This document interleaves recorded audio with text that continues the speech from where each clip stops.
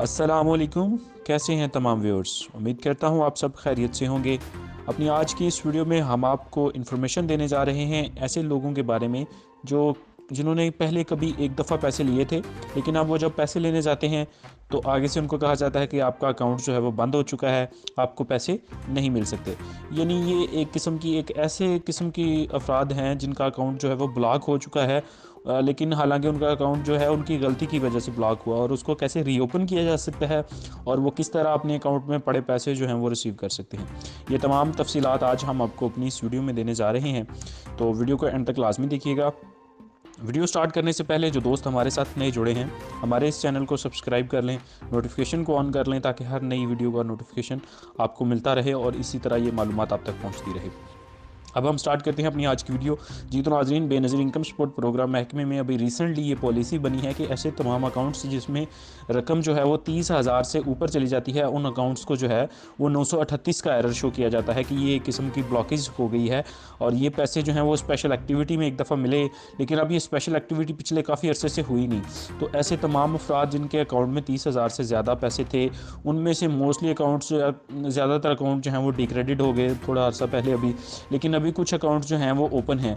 और उनको क्या करना चाहिए कि वो पैसे उनको मिल जाएँ? ऐसे तमाम अफराद पहले तो जिनका अकाउंट डिक्रेडिट हो गया है, वो तहसील ऑफ़िस को विज़िट करें।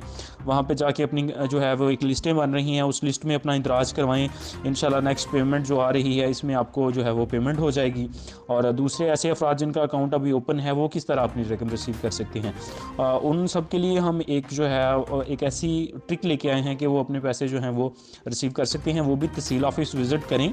और वहाँ जाके जो रिस्पोंडेंट बैठे हुए हैं, जो तहसील ऑफ़िस के इंचार्ज हैं, उनसे कहें कि, भाई, हमारा बायोमेट्रिक नहीं हो रहा, जिसकी वजह से हमने ये पेमेंट जो है वो विदड्रॉ नहीं की। तो वो आपका नॉन बी वी एस यानी आप कोई एक फॉर्म फिल कर देंगे जिस पर आपको बायोमेट्रिक के बगैर पैसे जो हैं वो किसी बैंक ब्रांच से मिल जाएँगे।